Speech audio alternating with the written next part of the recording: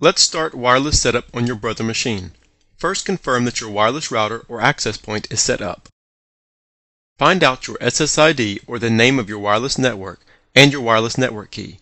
You may have to ask your network administrator or internet provider. Now let's use the CD-ROM to establish a wireless network connection between your computer and the brother machine. Place the brother machine as close to the router as possible. Confirm that the machine is turned on. Insert the CD-ROM to the CD-ROM drive of your PC.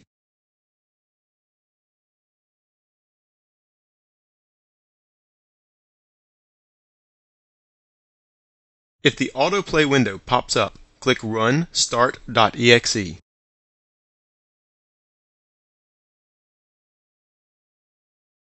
Select your product.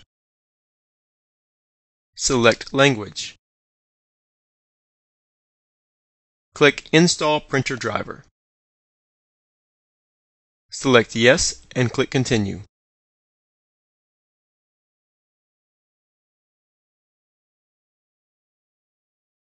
If you agree with the terms and condition, click Yes. Choose Wireless Network Connection without checking Custom Install. Click Next. Click Next. Click Next. Click Next.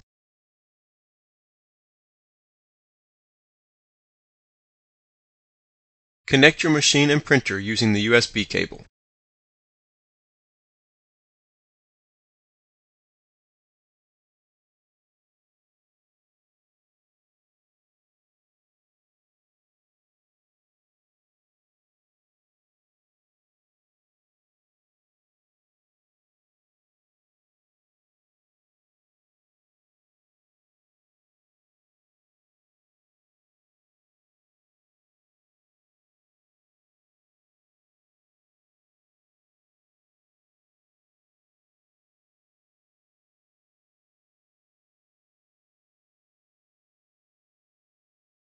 Confirm that your wireless connection is OK and select Checked and Confirmed.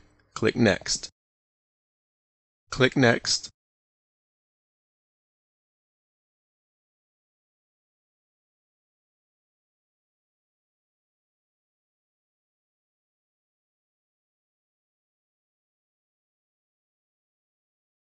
Disconnect the USB cable.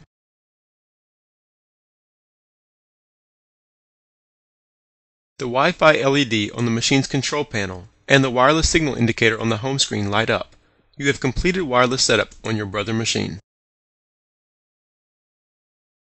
You have completed the wireless setup.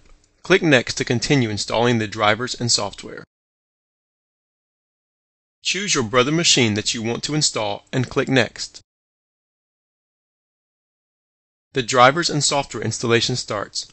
Follow the on-screen instructions to finish the installation.